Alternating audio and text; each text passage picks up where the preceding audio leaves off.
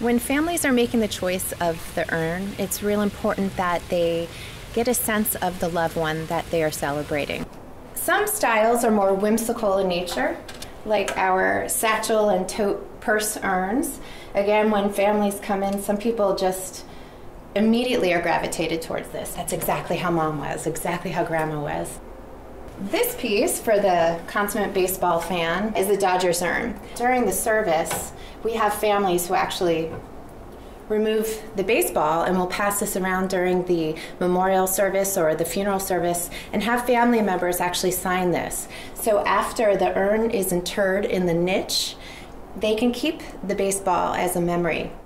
Here you're given almost a blank slate. You can select up to five uh, photos that are personal or memorable to the family, and it's laser etched on the front really beautifully. Additionally, it's available in a companion style. So this means it's about 40% larger. However, if you were to open this up, you would see a divider between the two sections so that you're enabled to place two sets of remains within one complete urn.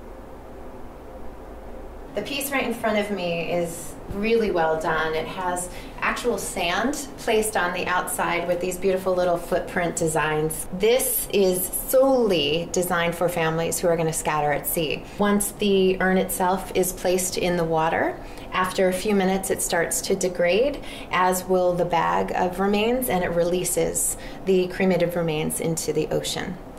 These urns are called scattering tubes, and you can tell by their size they're truly not meant to be interred in the park.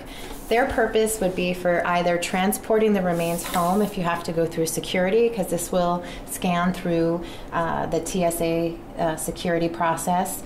If you've acquired the correct permits to do a scatter, say, in a park or a personal location, which does require uh, permit, um, you can use the scattering tube, and there's a little punch at the top, a little hole that you would open up, at which time the remains can um, be poured out of this urn. With cremation, you do have the ability to split remains. So if you've gone ahead and you've placed your urn in the cemetery and you want to still have your loved one close, you have that ability to take a portion of the remains, select a keepsake, place a small amount of remains in there, and then again, you can have them near and dear to you for eternity. Most artists, when they make a full size urn, they will work on a matching keepsake piece. We've actually had 29 different splits with one family who was very close and very spread out around the country, and they each wanted to keep their grandfather close to them.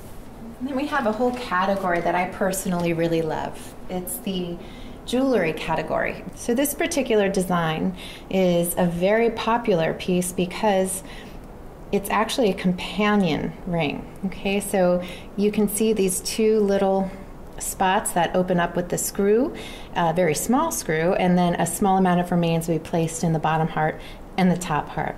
So we have lots of children who will buy this, say, so they can keep mom and dad close to them at all times. And then you have a ring that's truly just, you know, a beautiful piece for the public who's looking at your hand, but you know that you're keeping your loved one close to you.